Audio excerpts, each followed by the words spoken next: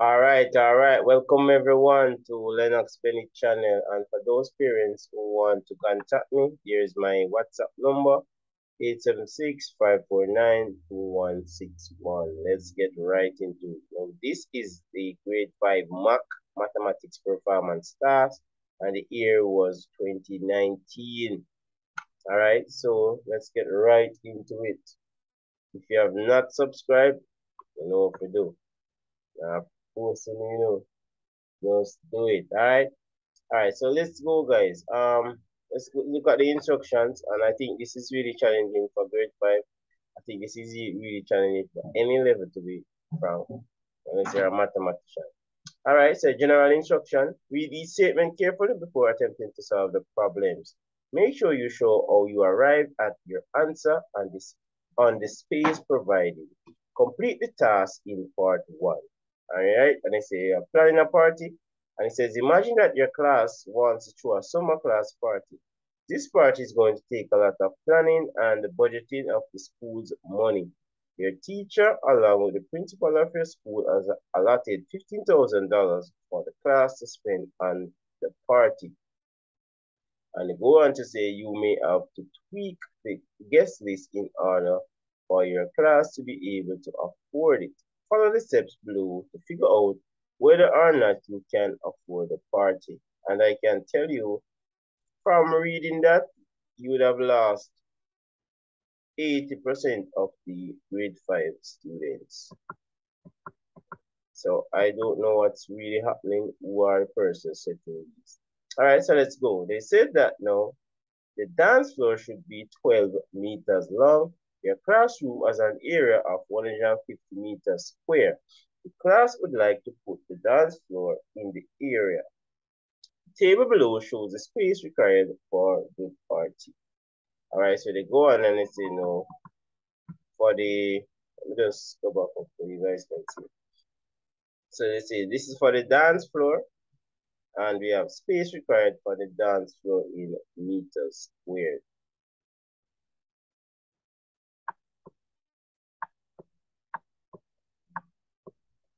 So part one.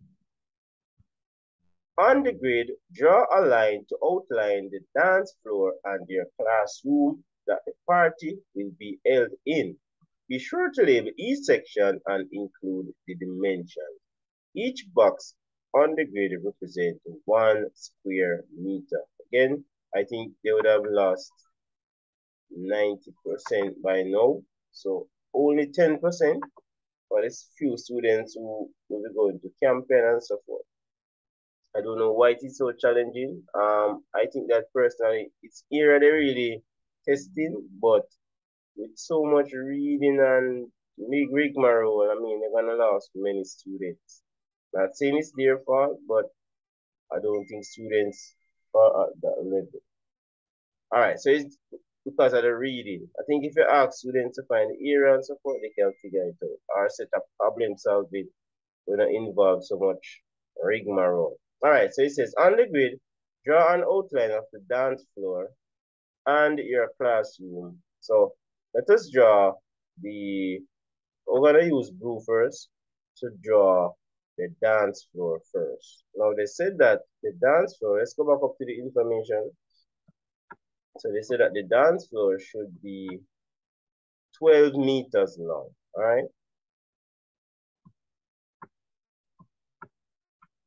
So we're gonna do 12. So we're gonna count 12 across. So one.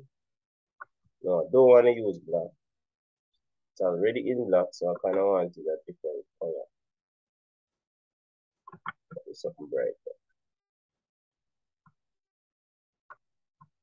Two, three, four, five, six, seven, eight, nine, ten, 11, 12. Now, they said that it must be 12 meter long. All right. Let's see what other information they give us. And guys, this is how I wanted to do it piece by piece. Don't rush into the work. Do it piece by piece. Read it very carefully. Read it 10 times if you have to. All right.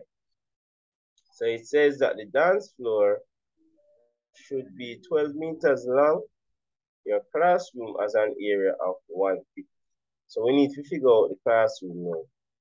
Um, and the dimension should be 150 meters square. And they did give us another piece of information.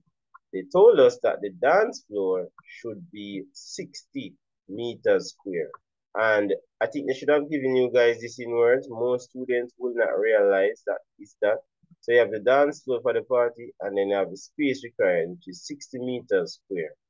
So they gave us the length to be 12. So ask yourself now, what times 12 can give you 60? Because they already told you the length, so you have to figure out the width. What times 12 give you 60? Or you can say 60 divided by 12 give you what? All right, and that would be 5 for both. So basically, the dance floor is 12 by 5. Again, most students will know to find the width, but they will not know how to interpret it. So teachers, you have a great task on your hands to prepare these kids all right, so we draw that. They said that length should be 12. So let us put in the 5 now. Again, this is each is 1 meter. So you say one, two, three, four, five. So guys, I'm putting the dancer at the edge. They didn't say you have to put it in the middle. I think this is much more easier to put it at the end. All right, so you have the dance floor at the end. You can put it anywhere on the grid, anywhere you want, as long as it is 12 by 5. But I am thinking that it is easier to figure it out. Now, remember, the dance floor is a part of the room, and they told us up here that it is the room is 150 meters square. See this information here? This is the area. All right, so we are going to determine the room. For many students, it will be different. Personally, as a mathematician, I'm thinking that it, the length has to be more than 12. That's the first thing, because if the if the dance floor is 12, it should be at least 12. So I'm thinking now, 15, I'm going to make it 15 by 10. Why? That is much easier than to say 12 by whatever to give you 150. Don't complicate it, right? I think that's the concept that they want to bring out to see the students are thinking critically. So I'm going to do it 15 by 10, but I'm going to change the color just to, you know, differentiate um, the different parts. All right, so I'm going to put it in red. So let's go back down to the grid. Again, students, you will have to read it very carefully. If you're not sure, you can actually ask them to explain it to you. So them say you don't know. Somebody read it to you. All right, use up that option. All right, so we are at 12. Coming from here, we are at 12. So this will be 13, 14, 15. So this is the entire um, length of the class from here to here. And then we go down 10. So it's 1, 2, 3, 4, five, six, seven, eight, nine, ten. All right, so this is gonna give us a total measurement of 10 by 5, 10 by 15 by 10 rather. And that will give us an area. So this is a classroom. So let me just put in the measurements. So much things you guys have to do. Parents, allow your child to join my class Um, no, Exam is in February. School fee is very cheap, so do it. Do it for the kids, all right? So this would be everything now. The classroom would be 15 by 10 and the dance floor. So what you can do is to label it. So I'm to label it for you guys. Remember guys, I cannot go to the exam with you but I can teach you how to do this, all right? So let your parents call that number and get started right away. So this is the dance floor. And it's 12 by 5 and that's a, as an area of 60 meters square and this would be the entire classroom and that has an area of 150 centimeter meters square rather. It's meters sorry. Sometimes i'm so used to the centimeters i said that all right? So that is our first task. Um i think that you guys will have to join me in another video. Let me see something. I'm not sure. Okay okay. So this is the section that they asked so they asked the length in meters of the classroom okay and remember we had said that it was 15 so we can put in this information as 15 the dance floor which is 12. This was actually given. The width of the classroom was what? 10. And the dance floor was 5. As remember, area should be 60. All right, so let's go again now. It says now the perimeter. Now the perimeter of the classroom. Let us look at the perimeter of the classroom. And so I want you guys to join my class, guys. The perimeter is the total distance around. So it would be the 15, then you go so, you get 10, another 15 meters, another 10 meters. So let's just add that and we can get the total for the classroom. So it is 15 plus 15, 10 plus 10. And we add this and this will give us the perimeter or the number of square units, the number of um the total length around. Alright, so that's 30, 40, 50. So that's 50. Uh, let us just check for the floor, the dance floor. It is 12. Here, so it's a bit 12 also. Remember, right here is 5. So that's 5 plus 5.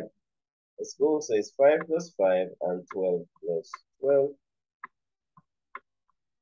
and then we can just fill that. So two and two, four, and five. All right, so uh, let's do it easier ways. 10 plus 24, which is 34. All right, so that's 34 and 50. So let's just put in that information.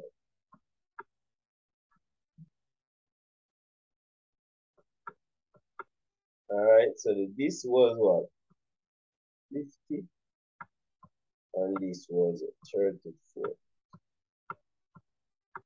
All right, guys, so part two, I'm not going to do part two. So you guys are going to actually hit the like button and you guys are going to subscribe. And then I do part two whenever this reach to 200 likes. All right, this is an explanation out, no doubt. Let's just look at part two. It says every every party needs guests, your classmates, teachers, and principal will be the guests at this party. Use the table below to plan the guest list. And as you can see, it's very challenging. So guys, hit the like button, share it with other students so that I can do part two. This is an experiment about, no doubt. See you guys in another video.